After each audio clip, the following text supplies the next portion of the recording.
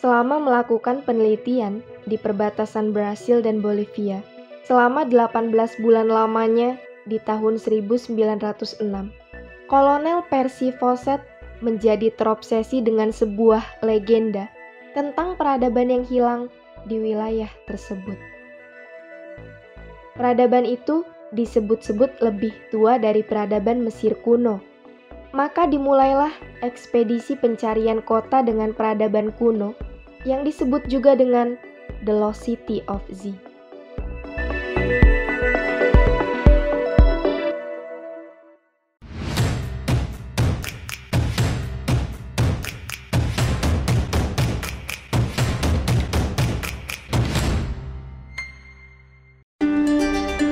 Amazon adalah sebuah sungai yang terletak di Amerika Selatan dan merupakan sungai terpanjang kedua di dunia setelah Sungai Nil.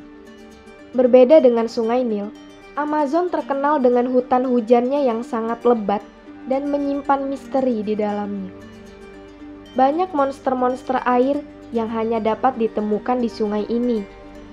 Namun, selain sejumlah flora dan fauna yang aneh, siapa sangka bila tempat dengan hutan hujan lebat ini juga menyimpan kisah mengenai peradaban yang hilang.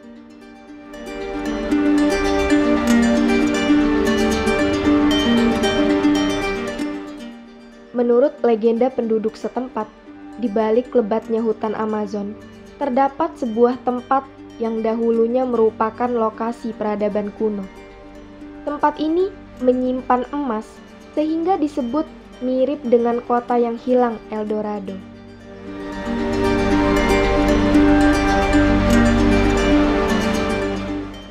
Peradaban di kota yang hilang ini disebut-sebut ditemukan kembali oleh Francisco de Orellana, seorang penakluk dan penjelajah asal Spanyol. Ia merupakan orang pertama yang menyelesaikan navigasi pertama di Sungai Amazon, sekaligus pendiri kota Guayaquil yang sekarang adalah Ekuador.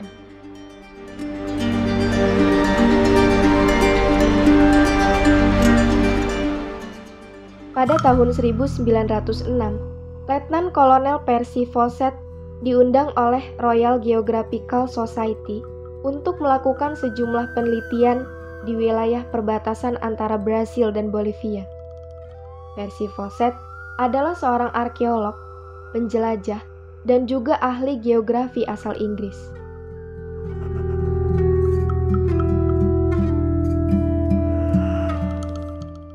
Penelitian yang berlangsung selama 18 bulan tersebut berhasil membuat Fawcett terobsesi dengan sebuah peradaban kuno yang hilang yang berada di hutan Amazon. Peradaban itu berada di sebuah kota yang hilang yang disebut juga dengan kota Z. Obsesi pada kota hilang itu bertambah kuat pada tahun 1912. Pasalnya, setahun sebelumnya, kota Inka di Machu Picchu ditemukan kembali tersembunyi di pegunungan Andes, Peru. Euforia pada penemuan ini segera menjalar di hati Fawcett. Ia juga yakin bahwa kota Z akan ditemukan kembali sama seperti kota Inka di Machu Picchu.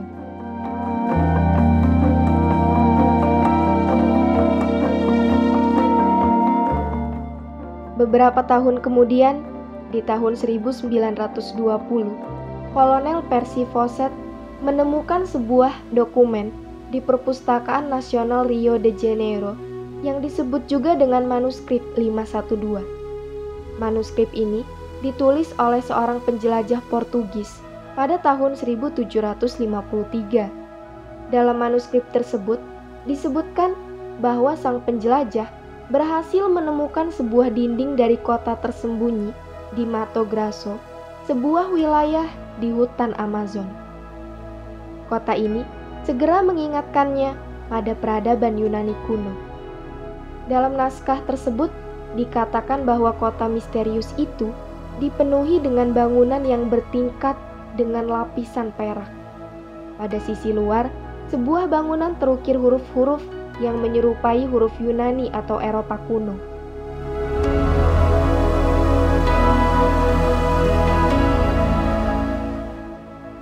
Setelah penemuan manuskrip ini, Percy Fawcett segera merencanakan untuk melakukan ekspedisi mencari kota yang hilang itu. Ekspedisi perdananya dilakukan pada tahun 1921. Maka berangkatlah Fawcett bersama dengan timnya. Namun, begitu tiba di Amazon, semangat mereka menghilang.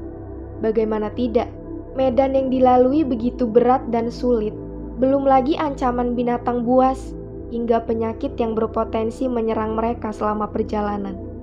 Akhirnya, ekspedisi perdana itu mengalami kegagalan.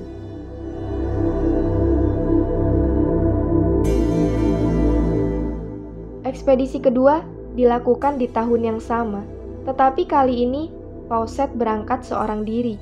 Ia melakukan perjalanan di daerah Balia, Brasil.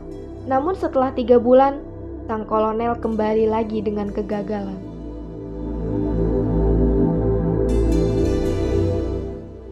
Fawcett kembali mencoba di tahun 1925. Kali ini, persiapan yang dilakukannya jauh lebih matang dengan dana yang juga lebih banyak dari sebelumnya.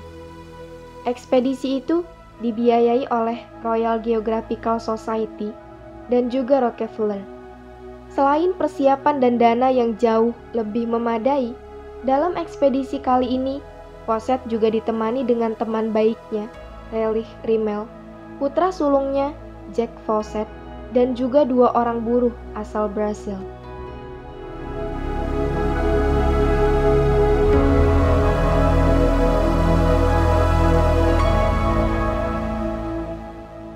Pada tanggal 29 Mei 1925, Fawcett dan rombongannya berhasil mencapai batas teritori yang belum terjelajah sebelumnya. Seperti yang ditulis dalam surat yang dikirimkannya kepada keluarganya. Disebutkan, Fawcett dan timnya berhasil menyeberang Upper Singgu, sebuah anak sungai di tenggara Amazon.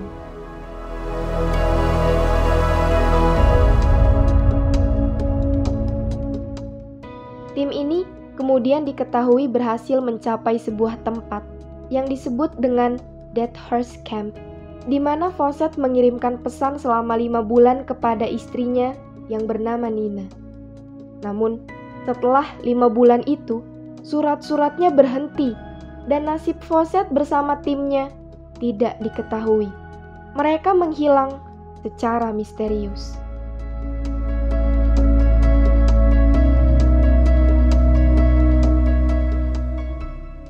Beberapa ekspedisi serupa setelahnya juga menemui nasib yang sama. Salah satunya adalah seorang jurnalis bernama Albert de Winton yang pergi ke wilayah itu dan tak pernah kembali.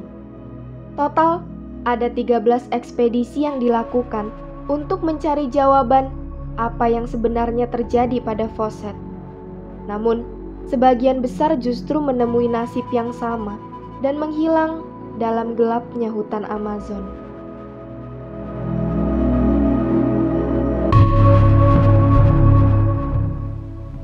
Sebuah laporan resmi dari tim penyelamat mengatakan bahwa Fawcett menghilang di Kululene River dan dibunuh oleh kepala suku Indian. Setidaknya, inilah teori yang paling diyakini hingga saat ini. Namun, Fawcett dalam surat-surat yang dikirimkannya kepada keluarganya selalu mengatakan bahwa ia menjalin hubungan baik dengan orang-orang lokal setempat.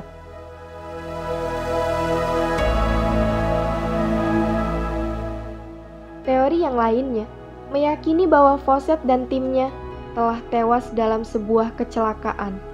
Bisa jadi tenggelam di sungai, atau mungkin juga terjangkit suatu penyakit. Teori ketiga menyebutkan bahwa kemungkinan mereka ditangkap dirampok, kemudian dibunuh.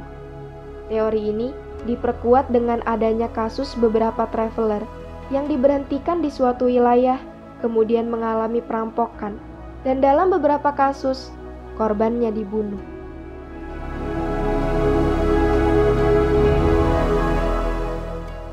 Pada tahun 1952, Kepala Indian Kalapalo melaporkan bahwa beberapa penjelajah telah masuk ke area wilayahnya dan dibunuh.